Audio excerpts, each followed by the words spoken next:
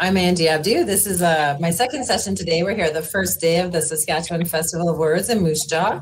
And earlier today, I interviewed Jael Richardson for the Great Big Book Club about Gutter Child, and we had a wonderful hour long talk. And all of the sessions will be available on recording on the site. So if you missed that, be sure to check it out. And thank you to everyone who did come. And thank you to Sarah and Amanda and Emily and all the people in the Festival of Words office. I'm uh, delighted to be a Moose. My name is Angie Abdou. I can't remember if I said that. My name is Angie Abdou. And I was born and raised in Moose Jaw. And I have not been here for two years because of stupid COVID. But I'm back for the festival and I'm so happy to be here. I just, uh, am uh, very teary at how happy I am to be here. And I brought my 12 year old daughter with me, and oddly, she doesn't remember Moose Jaw, so it's been really fun showing her around. And everyone who grew up here will remember the great big tower at the natatorium and i've been talking that up and my daughter is an adrenaline junkie so tomorrow we booked a swim session at the outdoor pool where i used to train for many years of my life and we are going to jump off the big tower and I, I am positive I'm, she's going to trash talk me into going up there with her and I hate it. I'm terrified of heights. So that's my Moose Jaw experience for tomorrow. I'll let you know how it goes. But I'm, yeah, I'm very happy to be back in the land of the big, beautiful sky, what is known as Treaty 4 territory, the original lands of the Cree, the Ojibwe, the Saulteaux, the Dakota, the Lakota, the Nakota, and the Métis people. Um, I and everyone at the festival acknowledges the terrible mistakes of the past and the devastating, tragic harms done to Indigenous peoples. And the festival is very committed to finding a way forward in the spirit of collaboration and reconciliation. Um, everyone who has attended this festival before knows Sarah and Amanda and the whole team is really dedicated to um, diverse festival and lots of Indigenous representation. So I imagine if you come to this festival regularly and you're listening right now, that these are issues that are important to you. I'm I'm very aware. I'm not always comfortable with land acknowledgements because to me it feels very hollow to say I'm on Cree Dakota Lakota land and do not like that doesn't on its own help anything. So I've been listening very carefully um, in these times to my Indigenous cousins, particularly the Bush family. Frank Bush is a writer about Gray Eyes. He's um, my cousin, and they they I asked them, what do you do as well as acknowledging the land? And they said that it's important to educate yourselves read the Truth and Reconciliation Commission report, read the Missing and Murdered Indigenous Women reports, then speak speak the truth. Three, hold the government and Catholic Church accountable for the actions of the past. And if you can't afford to donate monies to the organizations um, supporting survivors of residential schools. So these are some actions that we can attach to our land acknowledgement. And I know I'm preaching to the choir in this format as I said, I think if you're a person who supports this festival, you're um, already doing those things. And um, Sarah and the team have done and continue to do a really wonderful job of improving this festival uh, every year and always thinking how to make it even more of a safe space for marginalized and oppressed groups and how to really celebrate the diversity diversity of voices we have in this um, country. So kudos to them for the work they've done and like I said, those of you who return every year and here right now probably know this as much as I do and appreciate it as much as I do, and know that there is always zero tolerance for racist remarks and or hate speech of any kind. Um, before we get started with the actual program, I want to say a big thank you to the sponsors who make this festival possible. The Saskatchewan Arts and Culture Board, the Saskatchewan Lotteries, the Canada Council of Arts, and the Government of Canada. And there's also a long list of funders on the program. So please take a chance to look at those. And if you're in Moose Jaw around town, if you see any of these businesses, thank them for the important work that they're doing. Because this festival this year is mostly um, donate what you can to come. So that's a, a big thank you to the funders. Today we're going to have readings by uh, in the order of Jael Richardson, Guy Vanderhaeghe and Harold Johnson. We're going to go in that order. So I'll introduce each one, then they'll do a reading, and then I'll have one question for them, and then we'll move on to the next. And then at the end, we're going to have a conversation about the role of festivals in authors' lives. So that should be interesting. Um, first is going to be Jael Richardson. Jael Richardson is a powerhouse in Canadian literature. She's the founder and the director of the Festival of Literary Diversity and a book columnist for CBC's Q. She's at the forefront of the movement to reconsider whose voices are centered, whose voices are marginalized, and the push to give voice to the traditionally silenced. Despite her tireless support for other writers, she somehow finds the time to write her own books as well. This year, she published her debut novel, Gutter Child, which instantly found a home on the national bestsellers list. As of this week, it's climbed to number four in the country. Congratulations, Jael.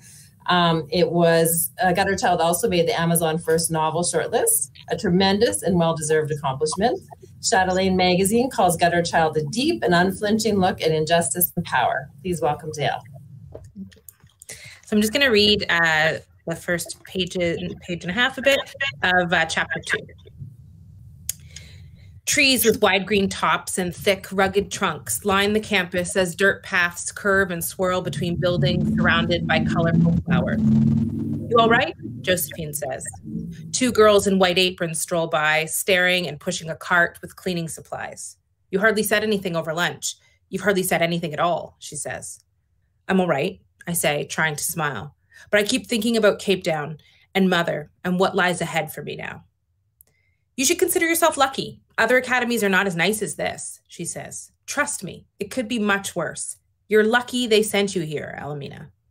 I want to tell her that I've never felt lucky, especially now. But maybe I've got it all wrong. I thought it was unlucky to grow up in Cape Town where no one looked like me, where my face and my ex disgusted everyone. Now I'm not so sure. Maybe I was lucky then, and now I'm not. Or maybe what I've always known somewhere deep inside is really true after all. Maybe I was born unlucky, marked for a horrible life. Along the path, two boys inspecting a tree stop to watch us. Why is everyone staring? I say after we pass them. People always stare at new kids, Josephine says. I can't imagine anybody's ever met a project kid before.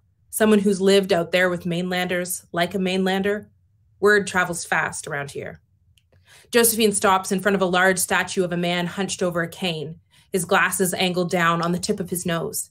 A plaque under his feet reads Mr. Henry Livingstone, founder of Livingstone Academy, a man dedicated to the growth and development of gutter children pursuing greatness.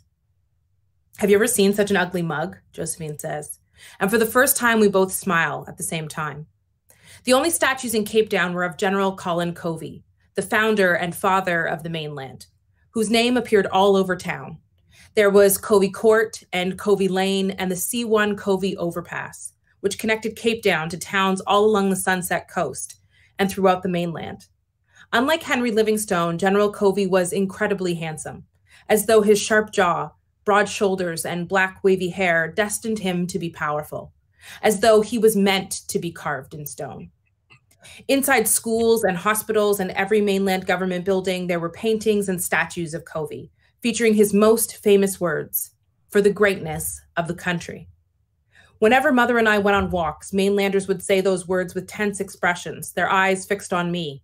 For the greatness of the country, they would say to Mother in a way that sounded more like a warning. For the greatness of the country, she'd mutter under her breath. The last line from that long quotation in my history book. Every gutter man, woman, and child will toil and struggle. And when they succeed, when they rise above their circumstances and redeem their place on this land, we will celebrate their toil and their labor. For the greatness of the country, we will shout. Am I from the gutter? I remember asking mother. You were born in the gutter, but you live here, Elimina. You are as much a mainlander as I am. Then why do I have this scar? Because you are my special gift, because you are a gift to all of us. Then why does everyone hate me?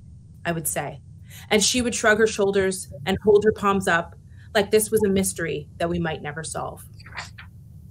Excellent. And for all the events I've done with you, I feel like that might be the first time I've heard you read from it, the first time I've heard it in your voice, which is great to hear. Um, and we all the things we talked about this morning and once you started reading i was like oh we never talked about luck and the, the mm. claim that she's lucky so that's a whole other conversation but the question i wanted to ask you now is because we already had such a big talk about your book this morning and on the theme of festival going is what is the most surprising question you've ever asked been asked about gutter child at a festival so not the best question but the most um, one that caught you off guard the most mm. question. It wasn't at a festival but it was at a school event. There was a kid who was asking about Elimina's name and he was like i was doing some research and i found this city in ghana and it's called elmina and i wondered if that's where you named her after. And then i found this place and it's called elmina's castle and it's a slave that was where slaves were actually brought and then uh, picked up and brought across the ocean to the united states. And this is from a grade nine kid digging deep and trying to figure out like why a character was named that. And it actually sent me like looping a little bit to think like did i know that? Was that part of it? Because you know guy before we were talking we were talking about how long it takes to write books and it took me eight years to write gutter child. And so some of these things like Elimina's Elimina's name was one of the first things that i decided on. And so I was like, is that why? Did I? And it turns out I had actually picked the name based on a song by a Ghanaian artist named the song was called Elmina. And I think her name is based on Elmina City and Elmina Castle. So it was just like a great nine sending me on a on a good for him. Hey, that's amazing. Right? Yeah. I was like, yes. I'm just gonna do a study guide in the future, you can credit him with that little bit of knowledge. That's excellent. Okay, our next reading is going to be from Guy Vanderhaeghe, Saskatchewan literary royalty, though I'm sure it'll embarrass him to no end for me to say that. I grew Absolutely. up in Saskatchewan, so I'm starry eyed, not around that many writers anymore because I see a lot of writers, but I'm still starry eyed around Guy Vanderhaeghe. And I teach at Athabasca University, so I'll sometimes have graduate students come and say, Oh, I studied at U of Sask and I studied with Guy Vanderhaeghe, and I will be as impressed as they are. He's a uh, He's uh, been around a long time and done very impressive work. He's worked in a wide range of genres and been awarded a Lieutenant Governor's Lifetime Achievement Award, amongst many other accolades, including an Officer of the Order of Canada. He's best known for his Western novels, The Englishman's Boy, The Last Crossing, and A Good Man. The Saskatoon Star Phoenix said he's widely acclaimed for his honest, captivating writing and for turning his love of history into books encompassing the essence of Saskatchewan and the people who have called it home in September, I just about flew out of my seat to find this news. I'm so excited. In September, he has a brand new novel coming out called August into Winter. Jael and I were just talking about how everybody has a new book coming out this fall. And I assured her it just feels that way when you have a book, you have all this competition, everyone important has a book coming out. And then right after I assured her that, I found out the guy has a book coming out. So I think she's actually right. Everybody's a book coming out. So August into Winter is his first novel in a decade, though he has published a short story in that inter- intervening time and it's uh, said to be a masterfully told, masterfully timed story for our own troubled hearts. Please welcome Guy Vanderhaeghe, who is going to read from this book, which is called is about evil and about love, about beauty and about ugliness, and is tragic and comic, and it sounds like it has the whole world packed into it. So I can't wait to hear from it. Well, Angie, you certainly managed to sort of make me blush, and at my age, that's not so easily done. Uh, the, the, book is called August into Winter. Most of the action uh, goes from August the 16th until November 11th of 1939. Um, so I'm going to read a short section that begins on August the 11th. The novel begins with a summer storm and it ends with a winter storm. Oliver Dill had always been stubborn, frequently kept to an intention whether it was wise or not.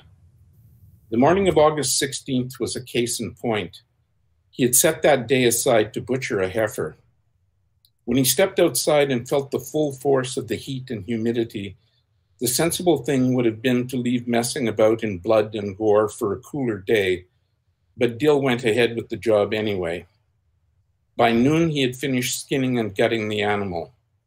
All that was left to do was to cut the carcass into quarters and haul them to the, to the ice house but time was running short. A big storm was brewing, getting ready to break. Dill watched the clouds rolling down from the north. They made him think of a mine disaster movie he'd seen years before the tremendous explosion that had driven a burst of black smoke out of the mouth of the mine shaft and sent it swarming over the ground until the screen itself was swallowed up in sinister, writhing darkness. This was the kind of darkness advancing on him now. Thunder detonated with dull booms. Flickers of blue yellow chain lightning played hopscotch along the horizon. The morning was dying. It was just short of midday, and it had already gone twilight dark. The temperature was dropping, the sweat on his back congealing like grease in a cooling fry pan. A breath of rain whispered a few cold words against his neck. The air curdled, turned deadly still. Then a blast of wind gave a sharp whistle, nearly blew him off his feet, sent him ducking and dodging shingles ripped from the roof of a gran- granary nearby that were swooping around his head like agitated bats shaken from their roost. A burst of rain drenched his clothes, molded them to his body like a second sad skin. Big drops pelted his eyes, half blinding him. But even half blinded, he caught a glimpse of his wife, Judith, standing on the back step of the big farmhouse, half hidden in a swirl of white, smoky rain. She was looking for him, peering desperately into the downpour. Suddenly, the wind died, the rain slackened, and in this window of stillness, he recognized that the dress Judith was wearing was the one that had caught his eye in the Calgary candy shop so many years ago. A butter colored summer frock sprinkled with tiny black polka dots. Then he saw that the eyes seeking him had the blank, marble stare of a statue. Judith's dress was dry. Not a hair on her head had been ruffled by the wind. The storm hadn't touched his wife because she was beyond touching now. He ran toward her, even though he knew that she was beyond his touching too. Still he ran. The sky opened up once more, a curtain of water descended, separating him from his dead wife. He stumbled through the heavy beads of rain and into the house, stumbled from shadow thronged room to shadow thronged room, calling out to the ghost of the woman he had surrendered so much of his life to. And then he realized that maybe he was well on his way to becoming just another head casualty like his brother Jack. We were talking before about uh, slow writers and fast writers, and I can see why it takes you a long time to write. Every sentence is beautifully, beautifully crafted. Um, I was thinking as I was uh, preparing your bio of of um, the kind of deeply researched books you write and how long they take, and how that's such a solitary internal act. And then you've had this long career full of festivals and accolades, which is this external affirmation and external, and those two things so it seem so at odds. Like obviously you must be attracted to the internal solitary act of writing or you wouldn't have lasted as long as a writer. Yet you have this whole external um, affirmations and festivals and awards part that seems contradictory. So I was wondering what what that kind of external external affirmation and recognition means to you as a writer. Those awards, what do they mean to you? They're pretty some big hefty names you have there. Governor General's awards, three of them, I think. Um, and what accomplishment, award, or recognition you've got that was the most personal, personally meaningful to you? I'm, I'm, I'm honest when I when I say this. I'm surprised by every award I've ever gotten. Um, I often say, change the jury, you change the winner. I think you need to be maybe in any year, there are probably 30 books that would be in the running for prizes. Mm. So I know I've been lucky. I mean, part of it's luck. But I also, I would say, I've worked hard. And the, the one thing that, that I've taught creative writer writing as a part-time teacher for, I'm finished now, but almost close to 30 years. And I always say to my students, do you want to be a writer or do you want to write? Writing is something that, that that you give to yourself passionately. Being a writer is a persona. I, am not particularly interested in the persona. Hmm. And so when I sit down to write, I, I genuinely try to write a better book than I've written before, which doesn't mean that I get there. Hmm. I'm not dismissing affirmation right? We, we, we all want to be affirmed. We all want, want somebody to say, good job, buddy, you know? Um, but at the same time, that's pretty ephemeral. I mean, I, I, I looked at a list of Pulitzer Prize winners just out of curiosity one time. You, you don't recognize 90% of the names on there. And, and, and, and really great writers often won for their worst books. Um, so I, I, know this is an ambivalent answer to the question. Um, I'm, I'm happy with the affirmation, mm-hmm. but but when, I think the work is the most important thing, mm-hmm. and it's doing the work that's the most important thing. That's a beautiful answer. It's very wise and grounded. And you can see all of us nodding frantically. so, yeah, that was very well put. Thank you. And speaking of wise, next up, we have the wise, warm, and wonderfully grounded Harold Johnson, who I first had the good fortune uh, to meet right here at the Saskatchewan Festival of Words. He's published a very big stack of books in a wide range of genres. His nonfiction book, Firewater How Alcohol is Killing My People and Yours, was a personally transformative read for me, and I thank him for it. And I'm sure many, many others do as well. Um, it was shortlisted for Governor General's Award. More recently, he's published Cry Wolf Inquest into the True Nature of a Predator, Peace and Good Order The Case of It for Indigenous Justice in Canada, um, he's retired, but based on the stack of books that he just says that he has coming, I don't think he's been resting in his retirement, but he's no longer um, practicing as a lawyer.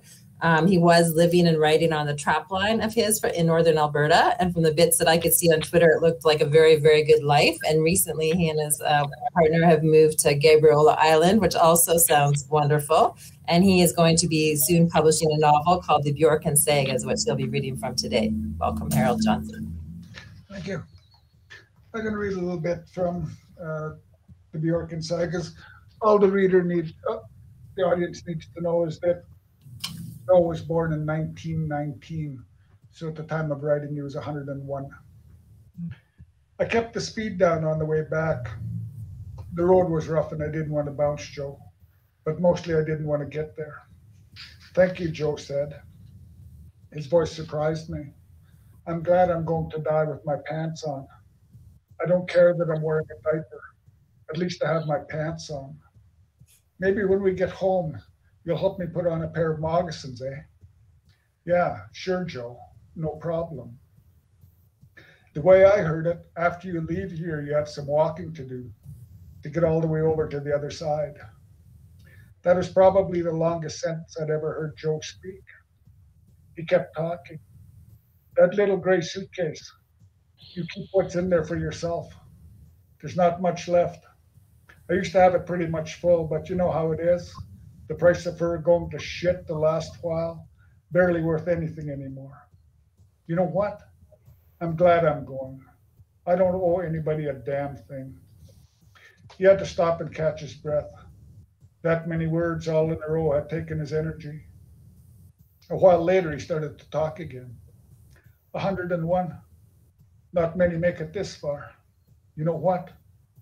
I never gave anything to the government of Canada, and I never took anything either.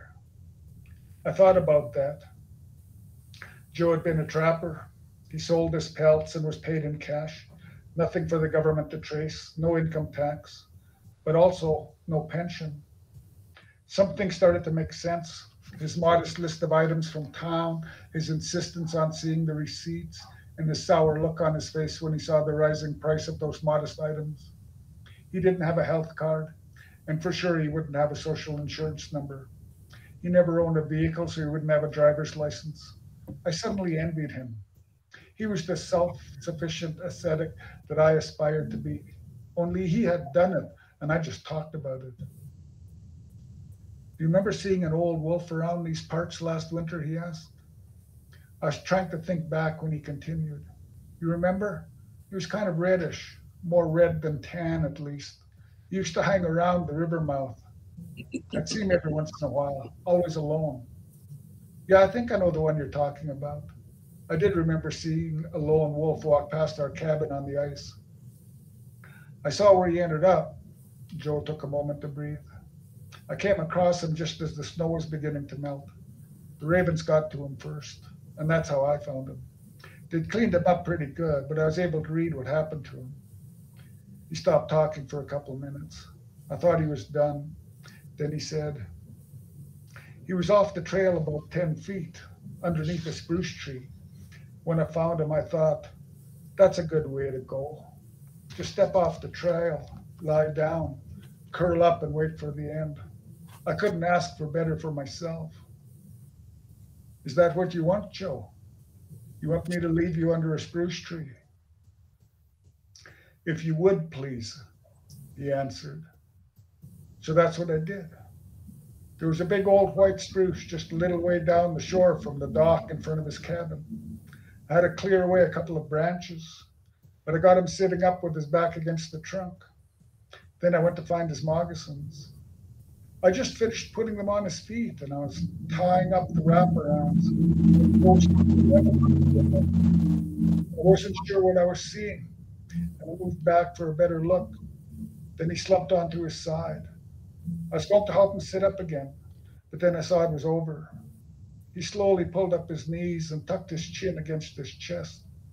His breath rattled gently, and then he was still. Hook. We're hooked. We're hooked on both these books. So, guys will be out in September 21st, I think. And you said yours is October 4th. Is that right, Harold? October 5th. October 5th. Well, I can't wait to read it. I think we're going to call this the world debut reading of both books at the Saskatchewan Festival of Words. Excellent. Um, my question for you, I was thinking about because I watched a little bit of your life that I see on social media when you're on the trap line, and you know you're retired and you have this beautiful life connected to nature, and it seems very peaceful. And now on Gabriola Island, the same. Um, and it makes me wonder where writing fits in that life and what compels you to write. I imagine, in the way Guy was talking about it, that you're kind of past that young idea of writing for some notion of fame and fortune and those ephemeral things he was alluding to. But there's something else that compels you to write, and I wonder what that is. So, first of all, where does writing fit in your life? How much do you write every day, and what to when? And uh, what compels you to do it? Why do you keep? Why not just enjoy a nice retirement and sit on the beach in Gabriola and look at the sunset?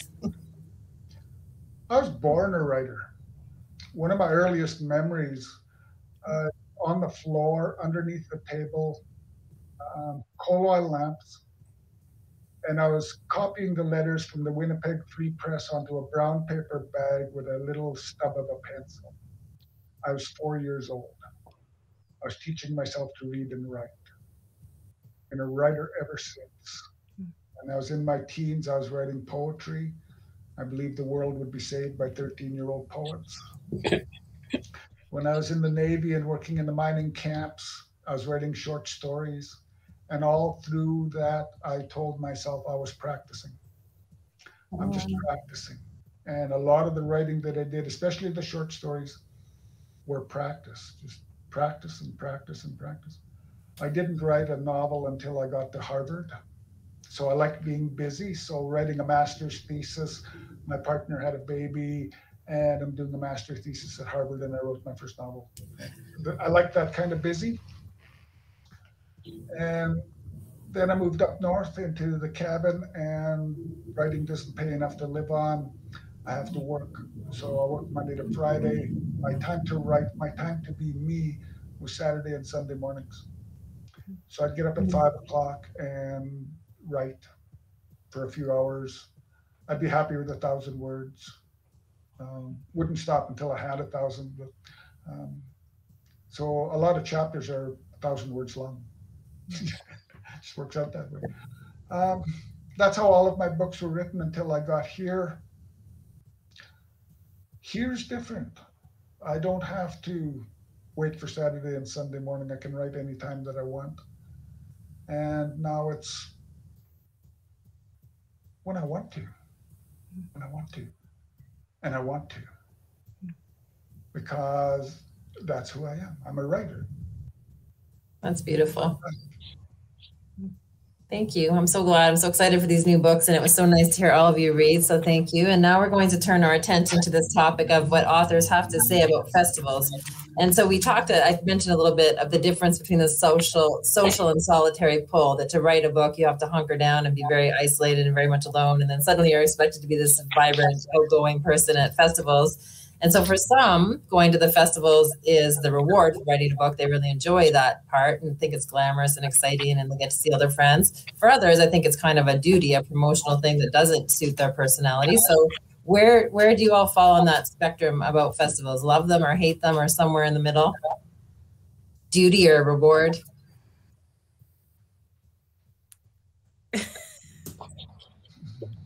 Well, I work at one. So, I mean, I think it's my duty to say that they are the reward, they are the best.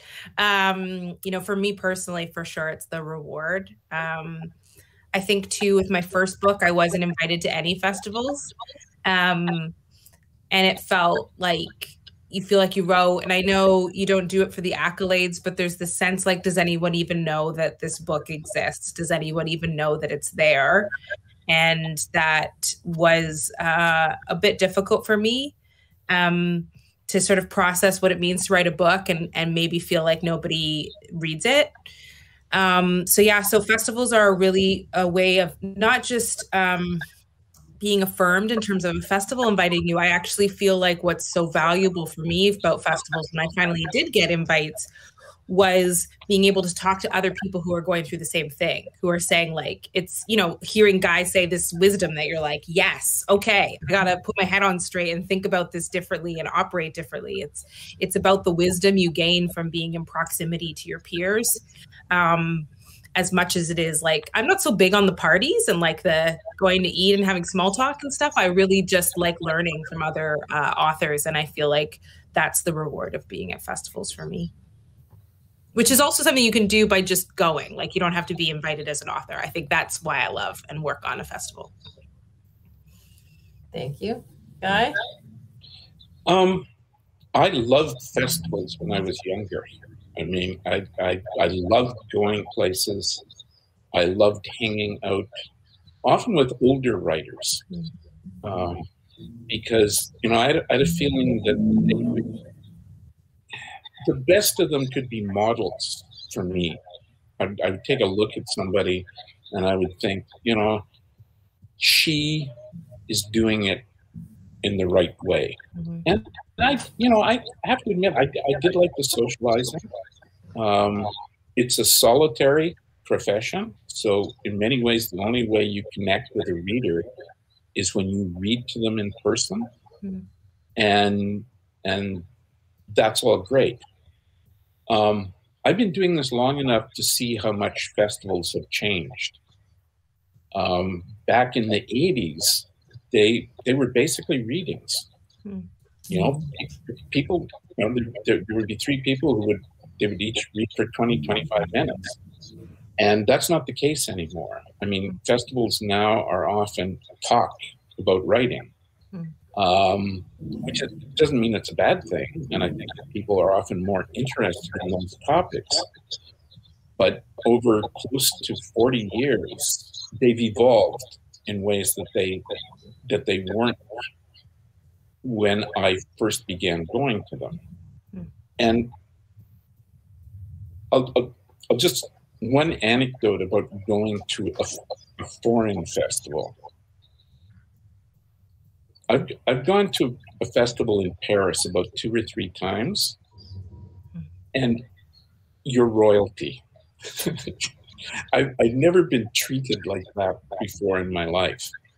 Um, and it it's I was just totally taken aback, right? Uh, there was a party in the American embassy, and the festival was in sort of a suburb, not really a suburb, but it was an old royal town attached to Paris called Vincennes.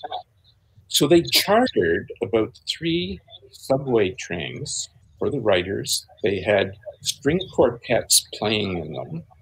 There was, you know, waiters walking around with trays of champagne and foie gras, and I just like, where where am I, right? Um, so I'm not saying that this is a realistic expectation, but it does kind of point out the difference between cultures. And I'm hoping Sarah and Amanda are taking notes, and there's going to be yes. Where's my duck? no, it's it's just odd that you know in in certain places, in France, writers still manage to have a certain status that they've never had in North America. So it's kind of a shock for a North American writer um, to to encounter that. Mm-hmm. Yes, very. Harold, what's your initial thoughts on festivals? We're separating writing, sitting here. This is where I write, right where I'm sitting right now, with that public part of going to festivals. And there's this craft that I practice here, sitting here. Since Firewater, I've been uh, introduced to the speaker circuit. So a lot of public speaking, and I'm okay with that. And I've developed that craft of public speaking. So I'm okay in front of an audience of 900 and I can speak quite well. So I divide the two up.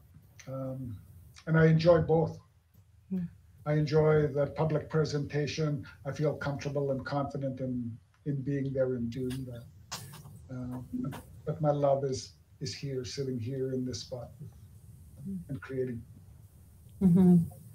I um this is the 25th year of the Festival of Words, which I guess I should have said at the start. That's very important. So this is our 25th anniversary, and I was at the first one as a, someone who was far away from publishing my first book. I was a graduate student at University of Western Ontario, but my hometown was having this festival, so I came home, and I just remember how thrilling it was to be in proximity to real writers. And I remember hovering around Lorna Crozier and Bonnie Burnard as if they were just so famous, and I can't believe I'm close to them, you know. And I I'm sure they thought I was a weird stalker kind of person, but but it's very you know it's very exciting for readers to be able to meet writers and for a young writer to be around, like Jael said, around older writers and um, soak up you know soak up some of that wisdom. It's so um, inspiring. It kind of think really catapult someone onto a career and make people feel like part of a community. Like these are real people who write books. It's not like they're some kind of superhuman people. This guy could do this too. So that was really important to me. And I wonder like in this last year, we haven't been able to have festivals with COVID, and I launched a book without festivals. Jael launched a book without festivals. Um, and I had a bit of that feeling that you're talking about, Jael, that feeling of it being anticlimactic. Even though my book got a fair amount of press, without the travel, it kind of felt like, well, nothing happened. It was just, uh, you know, I was at home doing laundry, the same as I'm always at home doing laundry. There was a bit of that feeling like it didn't happen. So I'm wondering how much how much can we replace that connection we're talking about at real festivals with online festivals? Is there some parts that can be replicated, but not everything? No, you can't. To me, the important part of festivals, I met Robert Sawyer in Moose Jaw, and we become really good friends. Um, I can't do that online. No. Um, and lots of authors that I met at festivals, uh, Waubgeshig Rice, hmm. uh, uh, Richard Van Camp, you know, uh, Douglas Gibson, who is a publisher decades. I met can really, really good friends. And that's not happening here. And it was never in a green room never in the green room did anything interesting or important happen. And I love Moose Jaw because we never had a green room. And we went out in the park and under the trees and we could genuinely visit. So that's my view. I'm, I'm happy that we're back in person. Um, that's my forte. I love it. Uh, but to, just the meeting the people, to touch flesh. I think that's when I said in the Leader-Post in an article this week that that's one of the special things about the Moose Festival is there is no hospitality suite, there is no green room, so we're all there in those three buildings in the park together all weekend. So everybody's quite intimate and friendly by the end of the weekend, writers and readers. And that's not the case at all festivals. And I think it's a very special thing. And it seems almost like it happens by accident, but I think it's happened by design that they don't have a hospitality suite. They don't, they have the lunch at the community church where we all go over and sit in the basement and have uh, jellied salads. Just awesome. Well, I'll say, I, I, mean, first of all, my green room at uh, uh, Festival of Words was the pool. That's where I, uh, Angie and I became close, and David Alexander Robertson was who I met when I went to the first Festival of Words, and uh, we're still good friends this day. Um, I will say, I, I, I, it's not that I disagree because I think that it's really the in person is really important, especially author to author. That connection happens in person in a way that cannot really be duplicated online. But what I've seen from Fold, we did have an two online festivals now, and one of the things that was missing in the first year that we we did in the second year was a chat, a discussion. I, I really felt what was missing when an event was over was the ability to unpack it and talk about it, and sort of that lobby experience as an attendee, where you can say like, "I loved that," or "Did you get that statement? What did they say about this?" Like, and so we implemented a chat feature um, that I felt really helped helped me as a as an author to be able to go in and see what people were saying and how they were feeling after an event. And I think it's also really important to understand how online festivals have created a level of accessibility that we haven't had before. Um, I had a, a, an individual write to me who lives in Brampton who's never gone to Fold before because uh, they suffer from severe anxiety. And so the idea of being able to go to a festival and log in and participate, much like Festival Words is doing now, was a real highlight for him. And even though he's close to the festival, could walk in future years, he was sort of like, Can you please continue to do the online piece because it's really important for me? So I think the online component has expanded the reach of festivals and extended the, the experience for readers who may not be able to go to all of the events or who may not be able to attend any events. Um, it's created a, a way of uh, connecting. And for me, um, we haven't shared this publicly yet, but we had um, an increase in book sales at Fold this year that was bigger than our previous in person festival. And so I think festivals allow us to expose Canadians to Canadian content in a way that's really important as well.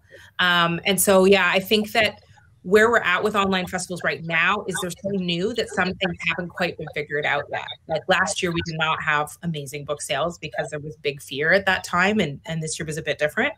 But I think we just need to give online time to evolve, to expand. Some festivals, I think, will do it. Some will do it smaller, different. But I think there are events that we did where it could only be done online and it actually worked better online. And there are things we want to keep doing online. But for authors, yeah, I miss I miss talking with people in a physical space together about our experiences. And I think that's been the hardest part of this past year, putting out a book in this past year, is not being able to really like commiserate and celebrate all of our friends who are doing the same thing and to just recognize like we've done a thing. It's a big thing to thing yeah.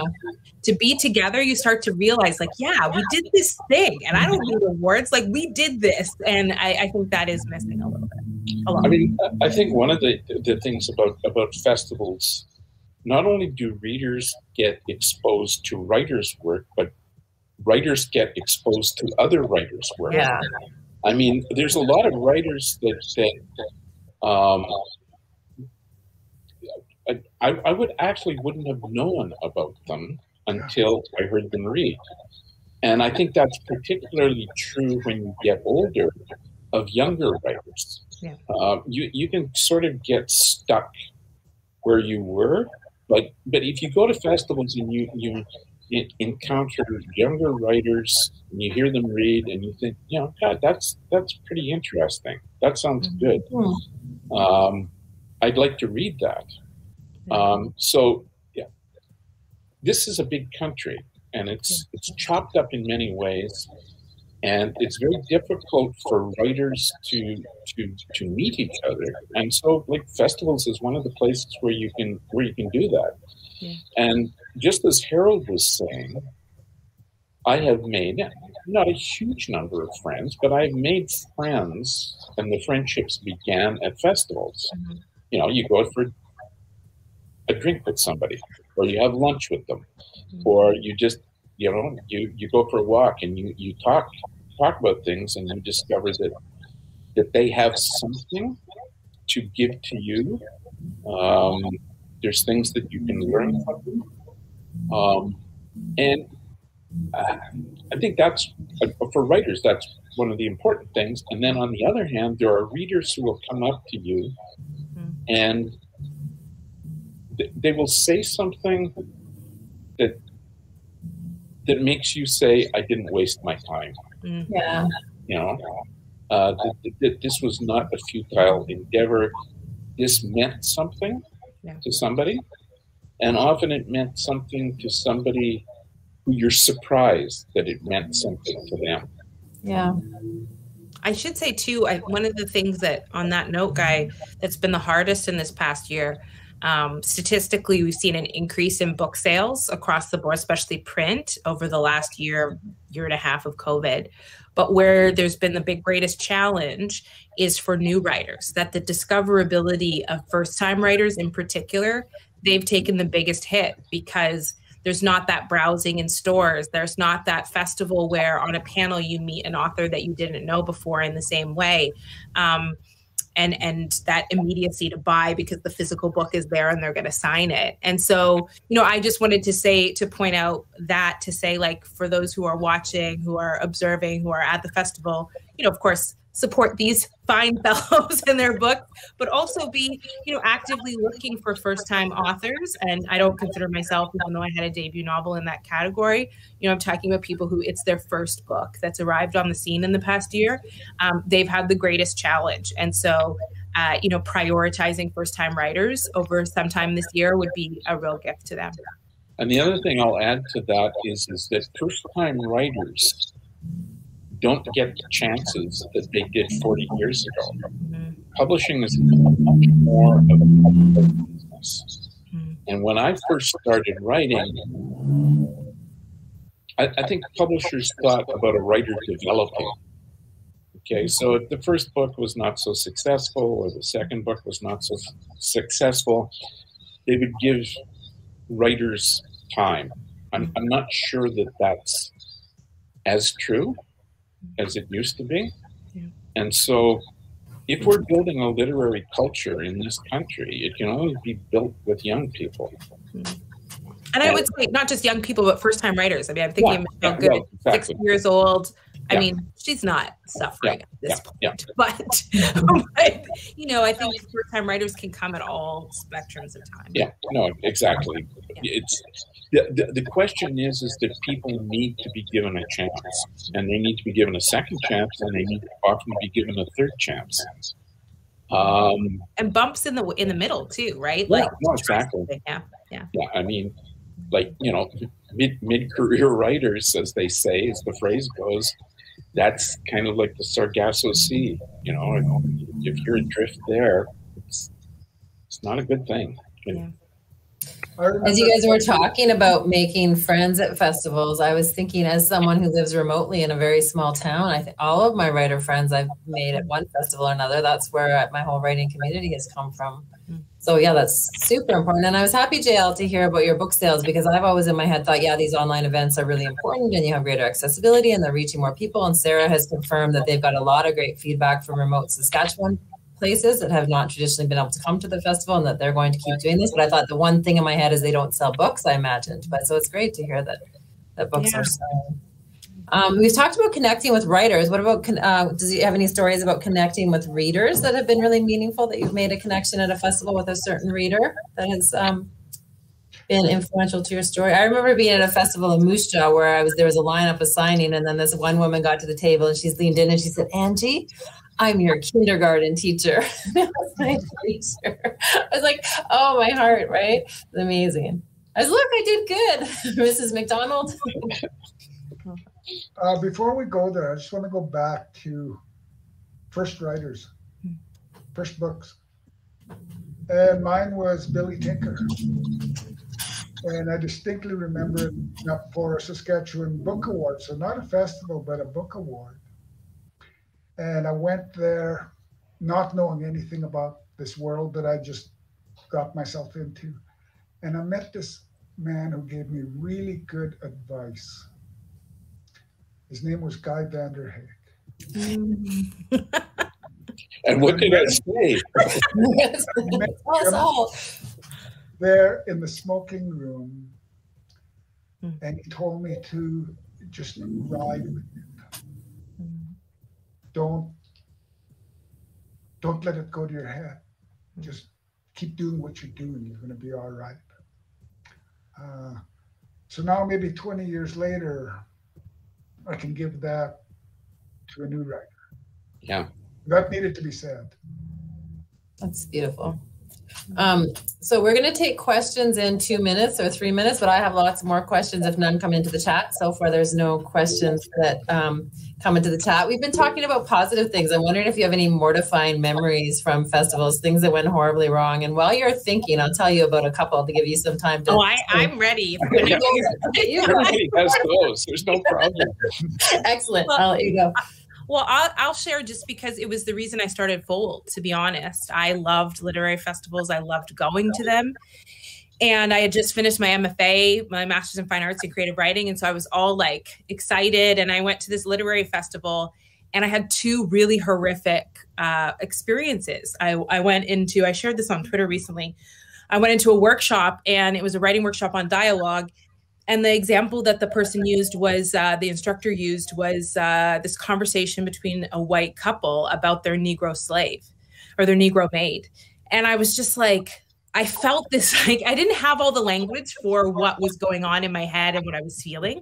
But I remember thinking like of all the dialogue that you could pick in all of the books. And I think the thing that I realized mostly was she never the instructor never thought a black person would be in the room. Like I had to I that's what I had to come to that conclusion and I was the only black person in the room. And so I was just really uncomfortable. Um, and then the same festival, I went to the bookstore and was sort of offering to come with my book and you know do a visit. I was like really keen with this first novel, and and uh, I said, you know, I can come for Black History Month, or I can, you know, I can trying to sell the way that that books were sold when for Black writers. And um, the bookseller said, you know, we don't really celebrate Black History Month here. And um, this is an Ontario bookseller, and it was pretty devastating to walk away from that festival and to have had such a good time in every other way and to have these sort of like wounds. And the only positive I can say is that's why I started Fold because I thought I never want another a writer from a marginalized community to walk into a space and be bombarded in multiple ways by reminders that they're not really supposed to be there or they were not really thought of. Um, and uh, I've really enjoyed all my time at Festival of Words, so I'm really excited to be here. But I think it's really important to mention that for a long time, um, and even still at some festivals, there's sort of um, a lack of consideration for people who um, are from different communities, from different experiences. Uh, and I think that's it's true of the authors, but it's also true of audience members in terms of accessibility for disabled writers and disabled attendees. And so I really love doing what I do because I love trying to create a better space than the one that I sort of was welcomed into as, as a first time writer. The fact that you had those experiences and your response was to create a festival and to become what Jael Richardson now means in the whole country to anyone involved is just says so much about who you are and like oh my admiration. That's amazing. Um, stories of mortification, Guy. Oh, I've got I've got thousands of stories of mortification, but uh, the first reading I ever did was actually at Harbourfront in Toronto. I, I my collection of short stories was published, and and Harold mentioned Doug Gibson, uh, who was a publisher, and Doug Gibson was my publisher. So we went for dinner before the reading, and Doug Gibson said, so what are you going to read, Guy? And I said, I'm going to I'm going to read the short story Cages, which was really vulgar and rude. And he said, No, no, no, no, no, don't don't read that. Don't read that. And I said, No, I'm, I'm going to read it. No, no, no, no, Guy, Guy, don't don't don't read that. So I, I thought, the hell with him, right? So and it was like the it literally was the first time I'd read in public and there was a big crowd out there because they were there for a South African writer called Andre Brink, and it was he was an anti-apartheid writer, and it was you know it was a big deal. So there was a big crowd there, and they were all there for him. So I started reading this story, and which I thought was hilarious, right? And two minutes went by, and nobody laughed. And hmm. three minutes went by, nobody laughed, and I could feel the sweat coursing down my sides, right? And I was sure that like I had a huge damp mark on my buttocks, and I was just thinking, God, you know, I've got to do this. Like I said, in those days, readings were like 30 minutes. I, you know, I've got to do this for 30 minutes. And then, thank God, somebody at the back laughed Mm-hmm. And, and and he laughed really loudly, and everybody kind of looked around, and they, they went, "Oh, it's okay to laugh." Mm-hmm. after that, after that agony of, of just standing up there and thinking, "This is like the worst thing that I could have ever done," and I've, I've just done it. So that was my first reading. It was at my first festival. Uh, obviously, it stuck in my mind.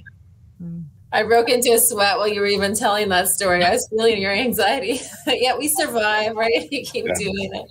Harold, any mortifying stories for you for festivals? Guy just reminded me of something that I'd forgot. you repressed. Yeah. I was in Sweden at a school of teenage boys, Mm. and I'm doing a presentation on Aboriginal people in Canada, and I'm telling them Wisaki Jack stories, and they're hilarious. And I got all these boys in this room, and they're all in grade eight and grade nine. There's fart stories.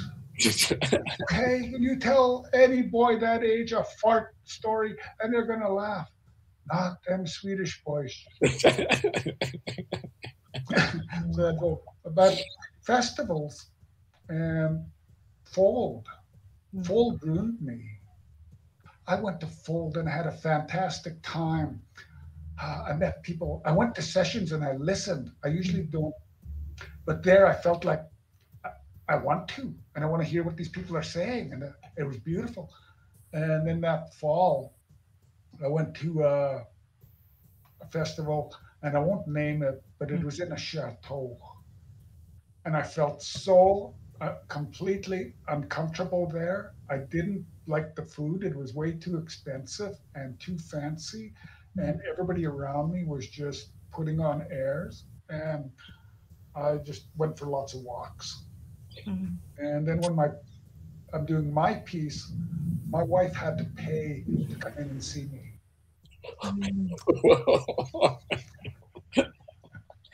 Boo. I got a big boo from everybody. So that Um, we have one question in the chat. We just have four minutes left, so I'll give you all a chance to answer this. The question is Have you ever met one of your idols or influences in the writing world at a literary festival? And if so, did you nerd out or get really excited? I can tell Jael has a story already. She's like, I don't want to be reminded of that. So I met um, Thomas King, and I was just like, I just read The Inconvenient Indian, and I was like, just. "Ah, I want to talk to him so bad. And I had this big backpack on because I wasn't an author. I was like an attendee, but they let me into the like author space. And they were like, you know, so I have this bag of like all the books that I've bought, and I get to talk to Thomas King, and I'm so excited. And I walk past him to sit down, and my bag like whips him in the face. And so I don't even I don't even see it. But I sit down and I'm like, okay, I'm ready. And he's like, oh my God. it's like totally like a scratch across his face from this buckle. And I was like, anyways, devastated. I still laugh about it to this day, but it was not the best first. Harold or Guy? Any stories of meeting literary idols at festivals? haven't met any. Most of my literary idols are dead. I mean, how am I going to meet William Faulkner and, or mm-hmm. Leo Tolstoy? I, I I remember the first time that I met Alice Munro, and I was I was rather overwhelmed. I was sort of like Jael, and it was at dinner, and she was sitting right beside me, and I had a glass that all the liquid had. I I drank all the liquid out, but there was ice at the bottom of it, right? And I, I was excited, and I was talking away, and I gestured, right, and I dumped all the ice right on her lap. On the girl's lap. Of course you did. And then, of course, she had to stand up two minutes later, right, to to to go wherever we were going with this big wet patch right on the middle of her skirt. So I haven't I haven't forgotten that one. Does that make you feel better, Jill? Yes, it does. It does. Although I have to face Thomas King all the time, and uh, thankfully he doesn't remember. I asked him recently, and he doesn't remember, but I I still remember. That's so funny. Well, I can't wait to see you all back at a real life festival and, you know, hugs and visits over dinner and uh, visits with readers and out in the Crescent Park. I just can't wait. That just seems like a magical thing that I can't believe ever existed. And I'm so excited that it will one day come back soon, hopefully one day soon. And we're out of time, but um, thank you so much for the conversation. And uh, thank you for your brilliant book, Jael. And I look forward to your new books, Harold and Guy. I'm so excited. And thank you to Sarah and Amanda and Emily and all of the um, people at the festival office. And thanks to, there are people actually downstairs in the theater watching this on the screen. So you can come in and watch it on the screen. Yeah, so wave at them. And then everybody at home watching too. We really appreciate it. And uh, keep an eye on the program. Lots of more great events tomorrow. Thank you all and goodbye. Thank you, Angie.